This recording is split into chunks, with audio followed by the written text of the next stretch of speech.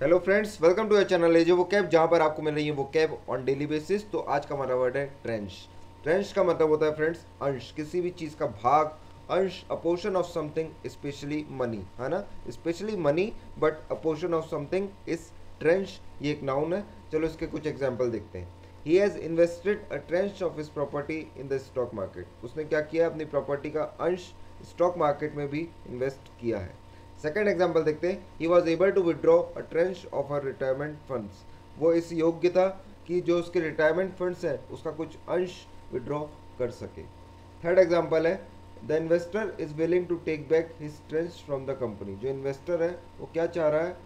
अपनी कंपनी से कुछ अंश वापस लेना चाह रहा है। ठीक है? उसने इन्वेस्ट किया हुआ है कुछ रुपए, उसमें से कुछ अंश वापस लेना चाह रहा है। वो कौन चाह रहा है? इन्वेस्टर तो चलो फ्रेंड्स आज का वर्ड था ट्रेंस ट्रेंश यानी होता है अंश a portion of something specially money जिसके एग्जाम्पल्स भी हमने देखे, बहुत अच्छे से ये मीनिंग क्लियर हो गया आई होप है ना? अब मैं आपसे मिलता हूँ नए वीडियो में, नए वर्ड के साथ और इसी माइंडसेट इसी पॉजिटिविटी के साथ में, तब तक के लिए अपना ध्यान रखो. Bye bye take care and all the very best